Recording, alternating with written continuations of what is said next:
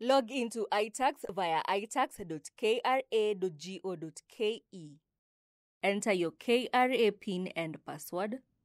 Enter the answer to the security stamp and click on Login.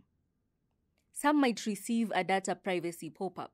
Click on I understand, then Submit. You can as well click on the link for further information.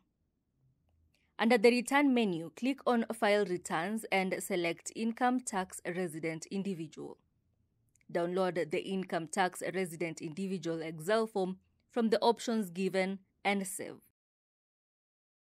Open the Excel sheet and click on Enable Editing. You might get a 1004 runtime error.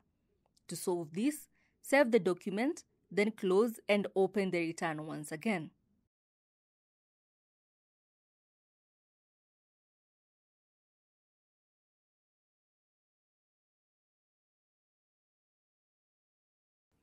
Capture your KRA PIN number.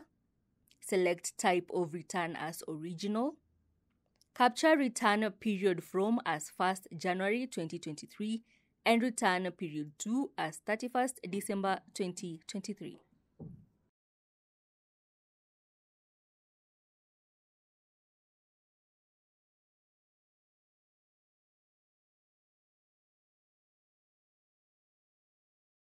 In case you do not have any mortgage or insurance policy, click on Section F. Enter the KRA PIN of your employer as per your P9. Name of employer. Gross pay as per your P9. Allowances and benefits of employer if applies to you. If not, capture zero.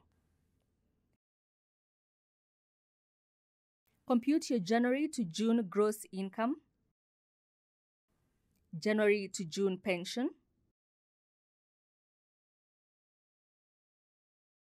July to December income,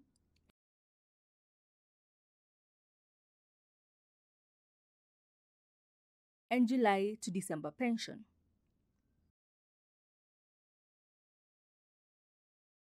Click on section M labeled Details of PAYE Deductions. And at this point, select Drop Down and capture the PIN and name of the employer. Taxable salary from your P9. Tax payable also as per your P9 and amount of PAYE deducted. Next is section T labeled Tax Computation. Here, we shall capture pension contributions for the full year and a personal relief for the year 2023 being 28,800. Confirm if the details captured are correct, then validate. Go back to iTax and upload the document under Upload File. In case you are logged out, just go back to the process of logging in, then upload the filed income tax document agree to the terms and conditions, then submit. Click OK to the question Do you want to upload the form? and your return will have successfully been filed.